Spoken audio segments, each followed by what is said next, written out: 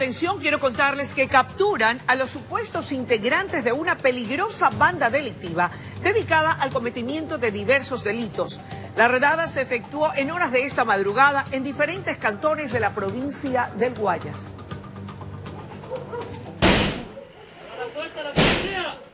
El operativo se realizó coordinadamente en cantones como Guayaquil, Colimes, Santa Lucía y otras poblaciones de la provincia de Guayas.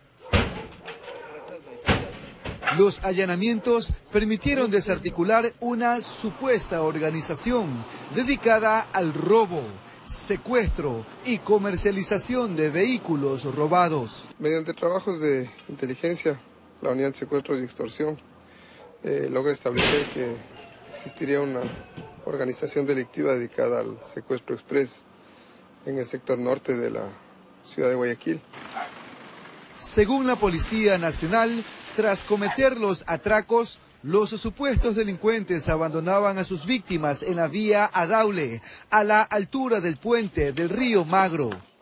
Acto seguido, desmantelaban los carros y ocultaban sus partes en una bodega situada en Santa Lucía. Se logra la detención de varias personas, las cuales todavía nos encontramos en proceso de, de detención. Se conoce que tienen antecedentes penales. En total se giraron 11 boletas de captura. El cabecilla de la supuesta banda delictiva fue identificado como alias Bolívar. Informó Jorge Salazar.